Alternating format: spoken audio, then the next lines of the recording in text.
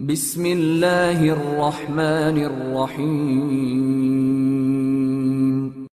السلام عليكم ورحمة الله وبركاته.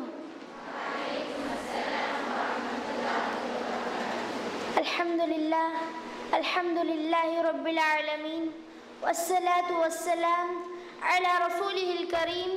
أما بعد فقال الله تعالى في القرآن المجيد والفرقان الحميد فأعوذ بالله من الشيطان الرجيم.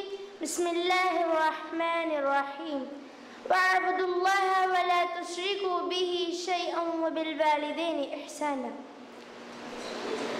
محترم صدر محفل مہمانان خصوصی مشرق معلمین و معلمات اور میری پیاری دینی بہنیں آج اس مبارک محفل میں میری تقریر کا عنوان ہے ماں باپ کا مقام و مرتبہ۔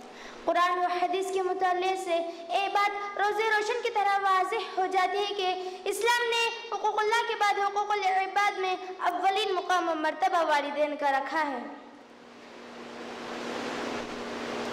اولاد پر والدین کا حق اتنا بڑا ہے کہ اللہ تعالیٰ اکثر مقامات پر اپنے حق کے ساتھ والدین کے حقوق کا ذکر کیا ہے۔ جیسا کہ اللہ تعالیٰ سورۃ النساء آیت نمبر 36 میں ارشاد فرماتا ہے، اعوذ باللہ من الشیطان الرجیم، بسم اللہ الرحمن الرحیم۔ وَاعْبُدُوا اللَّهَ وَلَا تُشْرِكُوا بِهِ شَيْئًا وَبِالْوَالِدَيْنِ احسانا۔ اور اللہ کی عبادت کرو اور اس کے ساتھ کسی کو شریک نہ کرو اور ماں باپ کے ساتھ اس نے سلوک اور احسان کرو۔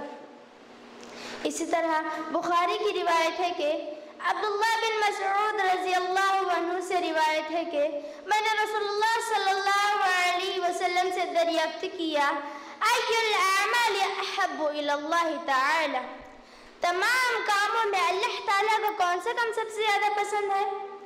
تو آپ صلی اللہ علیہ وسلم نے فرمایا علی وقتها، وقت پر نماز ادا کرنا۔ میں نے پوچھا، اس کے بعد کون سا عمل؟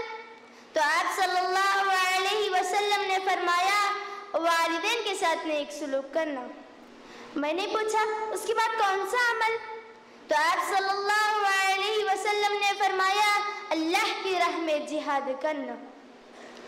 حاضرین و حاضرات درغور فرمائیے کہ اللہ کے رسول صلی اللہ علیہ وسلم نے نماز کے بعد جس نیک کام کو دوسرے نمبر پر رکھا ہے وہ والدین کی اطاعت اور فرما برداری ہے۔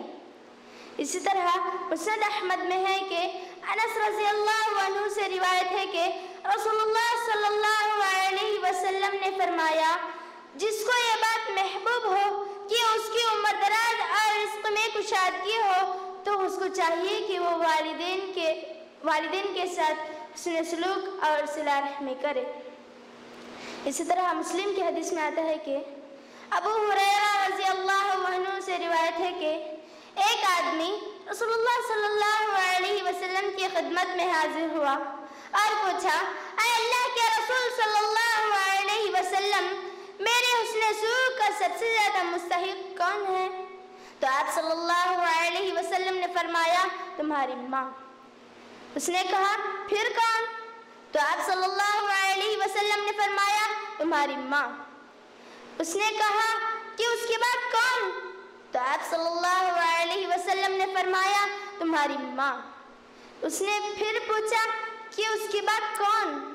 تو آپ صلی اللہ علیہ وسلم نے فرمایا، تمہارا باپ۔ خلاصہ کلام یہ ہے کہ ہم ماں باپ کے مقام و مرتبے کو سمجھتے ہوئے شرعی کاموں میں ان کی اطاعت کرے اور ان سے دلی محبت رکھے۔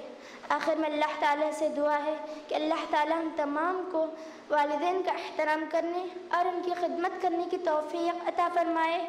آمین، ثم آمین۔ تقبل یا رب العالمین۔ والسلام علیکم ورحمۃ اللہ وبرکاتہ۔